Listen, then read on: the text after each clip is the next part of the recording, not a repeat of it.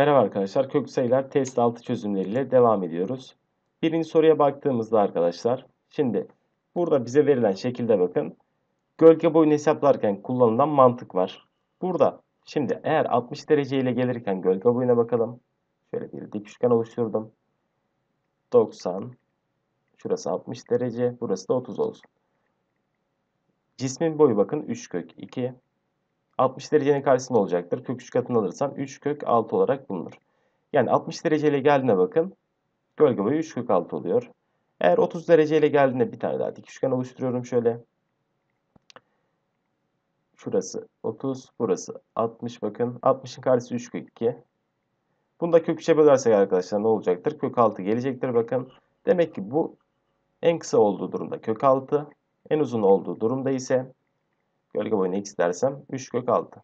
3 kök 6 neye eşittir arkadaşlar? Kök 54'e eşittir. Burada artık kök 6 ile kök 54 arasında oldu. Buradaki tam sayı değerleri sorulmuş bize. Buradaki tam sayı değerlerini düşünürsem ne olacaktır?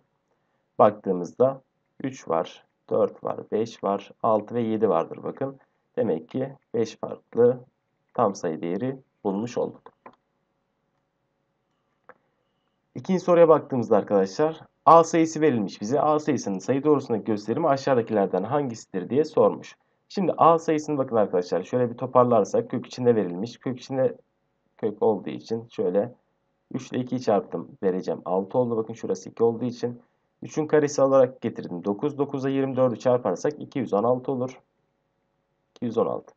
Bölü dedim kök 18. 216 sayısı da bakın arkadaşlar 6'nın küpüdür. Şöyle 6. dereceden 6 üzeri 3 dedim bölü kök 18. Burada baktığımızda derece ile kuvveti sadeleştirirsek her iki tarafı 3'e bölersek bakın derece 2 oldu. Kökün içi de 6 oldu. Ortak kökte yazabiliriz artık. 6 bölü 18. O da bakın 1 bölü 3'tür. 1 bölü 3'ün yaklaşık değeri de arkadaşlar 0,57 olarak karşımıza gelecektir. Yani 0,57 yarımdan biraz daha fazla. A sayısı. B şıkkında bakın. A sayısı nerede? 1 bölü 2'den biraz daha büyük. Bir konuda belirlemiş olduk. Geldim üçüncü soruya. Burada arkadaşlar köklü sayıların yaklaşık değerleri nasıl hesaplanır bize onu vermiş bakın. Ben herhangi bir köklü ifadeyi a kare artı b şeklinde düşünürsek a burada bakın asal sayı olmak üzereymiş. a artı b bölü 2a yazdığımızda direkt yaklaşık değerini bulabiliyormuşuz. Kök 7'yi nasıl yazabiliriz arkadaşlar? Kök 7'ye bakın. Asal sayının bir karesi olacak şekilde. 2'nin karesi artı 3 olarak yazdım. Buradan ne gelecektir? Yaklaşık olarak 2 artı 3 bölü 4 olarak gelir. Bu da hatta nedir? 4 ile 2 çarpım 8, 8 3 topladık. 11 bölü 4. Kök 5'e baktığımızda ise kök 5 sayısı bakın arkadaşlar yine 2'nin karesi artı 1 olarak düşünürsek eğer. Yaklaşık değer eşittir dedim. 2 artı 1 bölü 4 gelir. Buradan da ne gelecektir? 4 ile 2'yi çarp 8, 1 ekle 9 bölü 4. Bunları toplarsak ikisini taraf tarafa kök 7 artı kök 5 20 bölü 4 gelir bakın. 20 bölü 4 de 5'e eşit olarak bulunmuş olur. Geldim dördüncü soruya arkadaşlar. Bize bir tane depo vermiş bakın kenar uzunluklarından bir de küp şeklinde bir tane koli vermiş. Kaç tane koli istiflenebilir diye sormuş bize. Burada yapmamız gereken arkadaşlar hacimden gitmemiz lazım. Deponun hacmini biz kolinin hacmine bölersek toplam koli sayısını bulmuş oluruz. Burada V depo dedim yani hacim. Deponun hacmi bakalım eşittir. Hepsi ikinci dereceden kök olduğu için çarparsak tüm ayrıtlarını çarpmamız lazım. 12 çarpı 54 çarpı 18 olarak geldi. Daha sonra 0,24 var bakın kök içinde. Bu nedir aslında? Kök içinde 24 bölü 100. Hatta kök 24 bölü 10 olarak dışarıya çıkmış olur. Ayrıtlarını düşünürsek e, küpün yani kolinin hacmini düşünürsek V koli dedim. Eşittir. Kök içinde A ise arkadaşlar A küptür küp olduğu için 24 çarpı 24 çarpı 24 onun küpünü alırsak 1000 gelecektir bakın. Şimdi oranlarsak V depo bölü V koli eşittir dedim. Ters çevirip çarparsam 1000 yukarı gelecektir. Bakın 1000 çarpı hatta derecelere eşit olduğu için direkt şöyle yazalım. Kök içinde 12 çarpı 54 çarpı 40 18 bölü 24 çarpı 24 çarpı 24. Burada baktığımızda arkadaşlar sadeleştirmeye gidersek eğer 12 ile 24 sadeleştir. Burada 2 kaldı bakın. 54'te 2 sadeleştirelim. Burada 27 kaldı. Daha sonra baktığımızda 27, 24. 27'yi 3'e böldüm. 9. 24'ü 3'e böldüm. 8. 18'i bakın 6'ya bölsek 3. 24'ü 6'ya bölsek 4 gelir. Başka var mı sadeleştirebileceğimiz bir şeyler kalmadı bakın. Buradan eşittir dedim. 1000 çarpı kök içinde 9'a 3 çarpım 27 bölü 8 kere 4 32. Buradan arkadaşlar bakın köklü ifade olarak bulduğumuz kısmın yaklaşık değeri 0,86 gelmektedir. 1000 ile 0,86'yı çarparsak buradan da 860 tane kolye istiflenebilir olarak bulmuş oluyoruz. Cevaplara da baktığımızda 860 yok. P şıkkı dedim 860 olarak ekleyelim buraya. Kalemimizin rengini değiştirelim. Kaldığımız yerden devam edelim arkadaşlar. 6. soruyla devam ediyoruz. Pardon 5. soruyla. Bir A gerçel sayısı ile ilgili olarak aşağıdakiler bilinmektedir. 4 ile 5 arasında olduğu söylenmiş. Hemen yazalım. A sayısı 4 ile 5 arasında. Daha sonra B ve C sayılarının her biri birden farklı pozitif tam sayılar olmak üzere A eşittir bakın B kök C biçimde yazılabilmektedir. Buna göre bu koşulu sağlayan kaç farklı B virgül C sıralı ikilisi olduğu sorulmuş bize. Şimdi köklü olarak düşünmem lazım. Yani köklü olarak yazdığımızda bu 4 ile 5 arasındaki sayıları ne yapmamız lazım? A kök B yani pardon B kök C olarak çıkarabilmemiz lazım. Baktığımızda 4 nedir? Kök 16'dır. A dedim.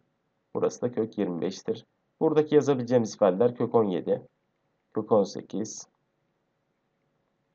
kök 19, kök 20, kök 21, kök 22 ve kök 23 bir de kök 24 var arkadaşlar.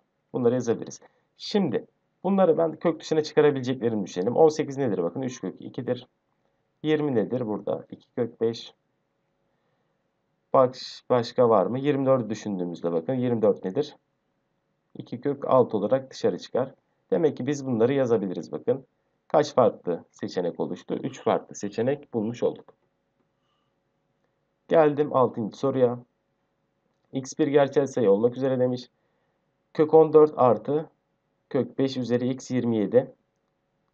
Kök 14 eksi kök 5 üzeri x ifadesinde işte aşağıdakilerden hangisidir diye sormuş arkadaşlar. Bakın şunlar eşlenik durumunda. Şuraya da biz ne diyelim? Y diyelim. Bu iki ifadeyi çarptığımızda taraf tarafa bakalım ne olacaktır. Kök 14 eksi kök 5 Şöyle büyük parantez alalım. Çarpı kök 14 artı kök 5 üzeri x eşittir 27 çarpı y olur bakın. Burada şimdi toparlama yaptığımızda baktığımızda eşlenik durumda kök 14'ün karesi aldım. 14 Kök 5'in karesini aldım. 5, 14'ten 5 çıkarsam 9 üzeri x eşittir 27 çarpı y olarak bulundu. Şimdi 27 ve 9'u ben 3'ün tabanına yazabilirim. Buradan ne gelecektir? 9 3'ün karesi olduğu için 3 üzeri 2x eşittir. 3 üzeri 3 çarpı y. Biz arkadaşlar y'nin diğeri türünden eşiti sorulduğu için y'yi yalnız bırakırsak burada. y'yi yalnız bıraktım. 3 üzeri 2x bölü 3 üzeri 3'ten ne gelecektir? y eşittir. Tabanlar aynıysa üslü ifadeleri bölme yaparken kuvvetleri çıkaracağım. 3 üzeri 2x eksi 3 olarak bulunmuş olur bakın. C şıkkı doğru cevap olmuş oldu. Daha sonra alttaki soruya baktığımızda 7. soruyla devam ediyoruz. 3. dereceden kök x üzeri kök x var bakın. O da eşittir.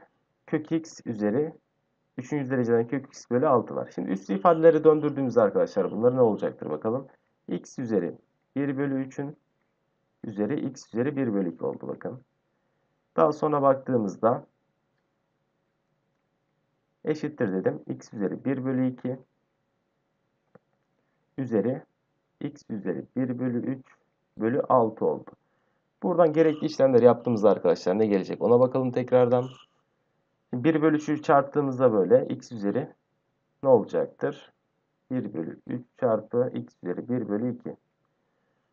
Daha sonra baktığımızda eşittir dedim. x üzeri üstün üstü oluna çarpacağız. 1 bölü 2 çarpı x üzeri 1 bölü 3 bölü 6 dedim.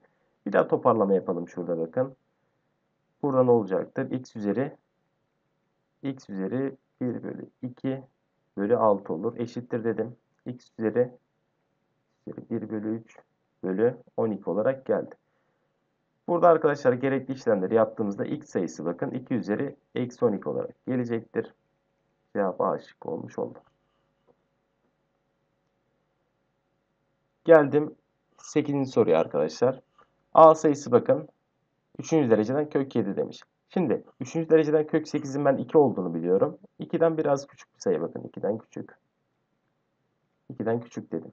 Bu şekilde gidersek 4. dereceden kök 17. Şimdi 4. dereceden kök 16 sayısı 2'ye eşit. Bu da 2'den büyük olur o zaman. B sayısı 2'den büyük.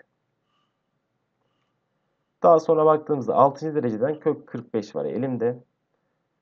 Burada 2'yi düşünürsek 2 üzeri 6 64. Bu da 2'den küçük gelir bakın. Şimdi bunları bir belirledik. Daha sonra A ve C'yi kendi arasında bir karşılaştırma yaparsam derecelerini eşitleyelim. Derece 2 ile genişlettim. 7'nin karesini alırsak A aslında burada bakın. Ne olacaktır? 6. dereceden 49. C de 6. dereceden 45'ti. Burada baktığımızda A sayısı C'den de büyük gelir bakın. A büyüktür. C'yi de yakaladık. Şimdi B sayısı 2'nin sağında arkadaşlar. 2'den büyük.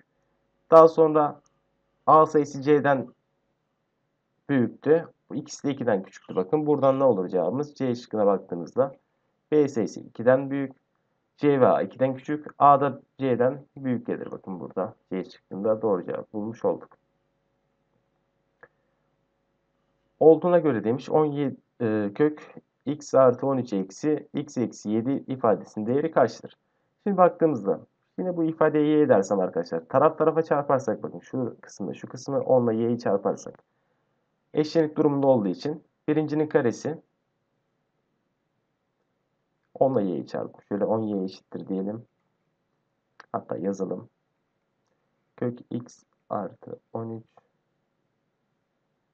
artı kök x eksi 7 çarpı kök x artı 13 eksi kök x eksi 7. Birincinin karesi eksi ikincinin karesinden ne olacaktır? Birincinin karesini aldık bakın. x artı 13 gelir. Kök ifadeyi götürür kare. Eksi dedim ikincinin karesi x eksi 7 olarak geldi. Toparlarsak x artı 13 eksi x artı 7 olarak bulmuş olduk 10y'yi.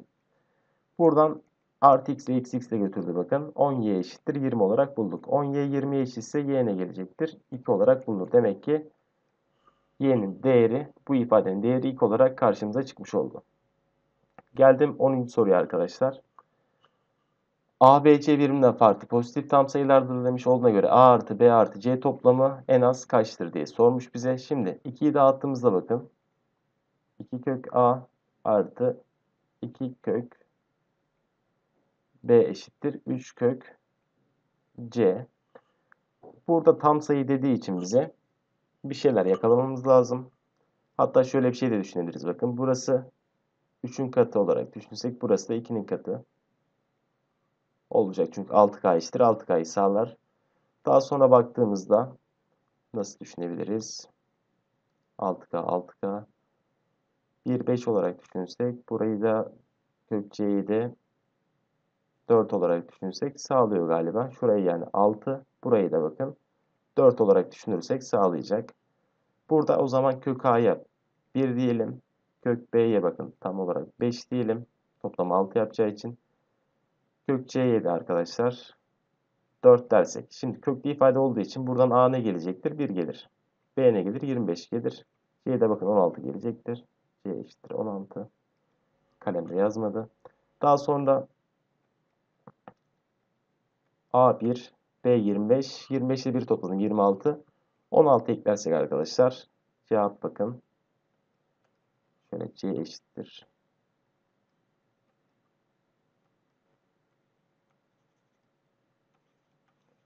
C'de 16 geliyor arkadaşlar. Toplamda 42 olmuş oluyor. Şöyle tekrar bir yazmayı her şekilde şu an yazıyor. C eşittir. 16 gelecek. Toplarsak toplamı da A artı B artı C eşittir 42 olarak bulunmuş oldu.